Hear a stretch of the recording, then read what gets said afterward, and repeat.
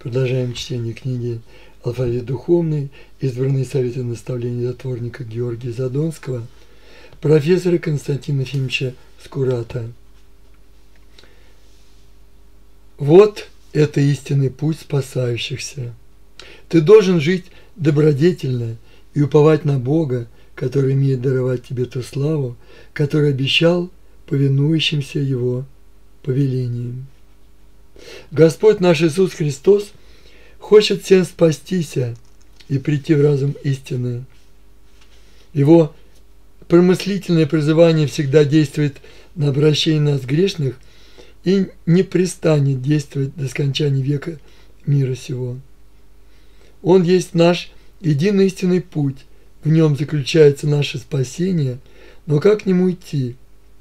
Как проводить жизнь, чтобы достигнуть спасения? Как внимать своему спасению?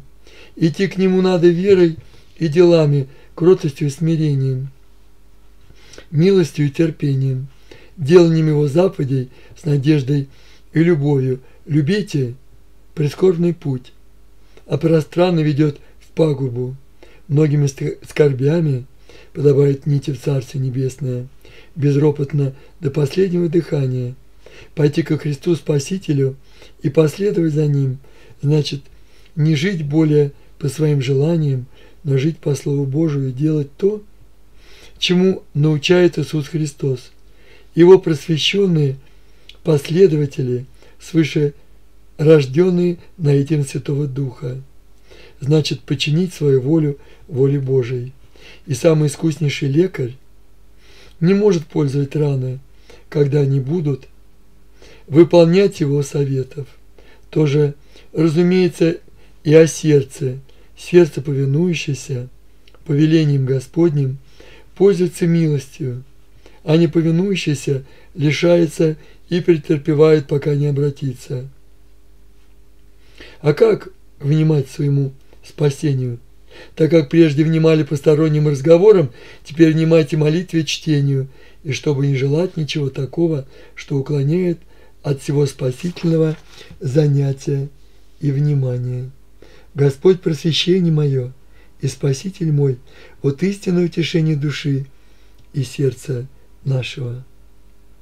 Любящим Бога вся поспешествует в благое.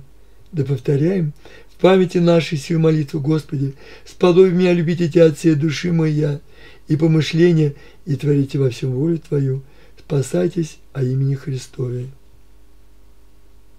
Чтобы разносторонне описать спасительную жизнь, Задонский затворник извлекает истинное христианское правило из творения святого Макария.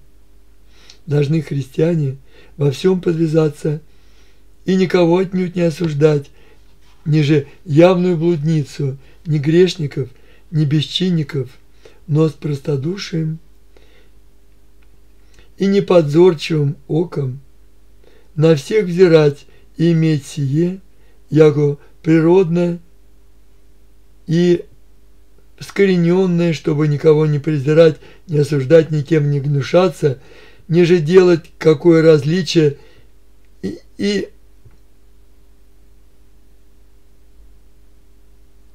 лицеприемство одинаково аще узреши, не посмейся сему в сердце своем. Но аки на здравого на него взирай, на безрукого, не яко на безрукого, но на хромого яко на правоходящего, на расслабленного, как на здраво смотри. Сия бы есть чистота сердца.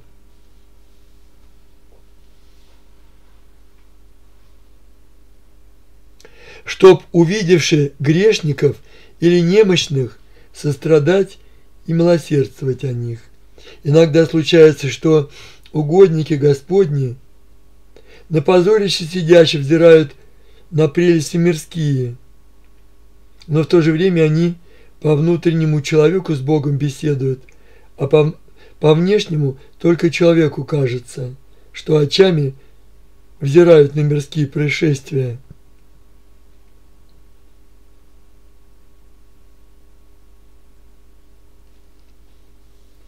А святой Иоанн Златоуст молился, Господи, всели в мя корень благих страх Твой в сердце мое.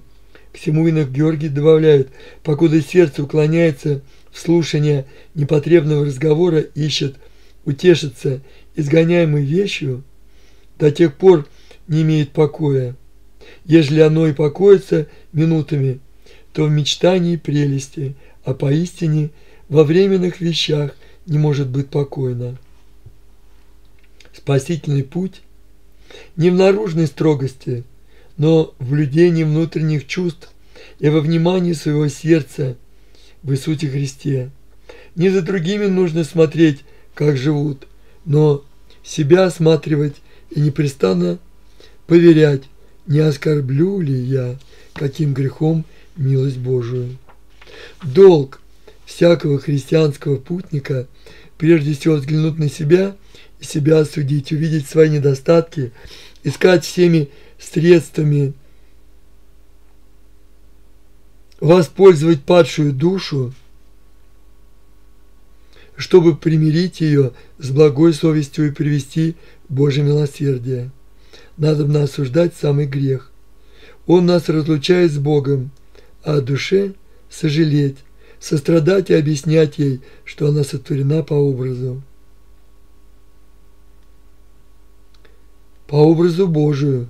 Поэтому страшно и трепетно уклоняться от Бога во грех и рабствовать греху, предавшись адским духам, ищущим всегда вернуть человека в уготованный для них гиенский огонь. Нам очень нужно также быть осторожными от коварных ласкательств, ведь они те же сети, коими уловляет нас наш общий враг и клеветник, небесная царица, да спасет вас под своим покровом. Инна Георгий предлагает в качестве верного руководства маленькое зеркало к видению больших добродетелей. Первое – чистая совесть. Второе – мирное сердце. Третье – кроткий дух. Четвертое – благотворная воля, преисполненные милости и благоплодия. Пятое – несумнительность. Шестое – нелицемерность. Сими сопровождается премудрость свыше снисходящая. Молчи, терпи, молись, будь кроток, смирен, со всеми мирен и спасешься. Важно не только исполнять заповеди Господни, но и не откладывать их исполнение. Презирайте все, что удерживает и препятствует сохранять в делании нашем заповеди Христовы. Почту обещать себе старость лет, когда о завтрашнем дне не знаем, наш ли он будет или нет. Откладывать дни – это дело всегубителя. Он всегда советует сегодняшний день забавляться и проводить как-нибудь, без осторожности, в противность Богу. Очень страшно делать неугодное Господу, но сколько вам можно каждый день и ночь обращайтесь ко Христу и воздыхайте, и просите мысленно, да благоустроит вам Господь спасительный путь. А че что творите? Вся во славу Божию творите. Все апостольское выражение объемлет все человеческое действие. Вот это истинный путь спасающихся, завершает подвижник. Не уклоняйтесь же от него, всем путем идущих и не озирающих вспять Иисус Христос водит в Царствие Божие. Господь Вседержитель, Бог разумов, да даст вам возлюбить сердечно тот примирный мир и свет, где нет ни вздохов, ни скорбей, ни бед, ни скуки, ни печали, ни сует, и только чистая любовь живет. Там сладость, радость и покой такой, какого здесь никак нельзя представить. Там все объяты божественной любовью, божественным светом, все как солнце, все как солнце сияют, искупленные, омытые и освященные бесценной кровью Христовой. Все в них радостно, мирно, тихо, все безмолвно, сладостно, покойно, мятежников там нет. Туда отсели нас к себе Христос зовет, туда Он путь открыл и дал возможность прийти к Нему через скорби и болезни здешней жизни.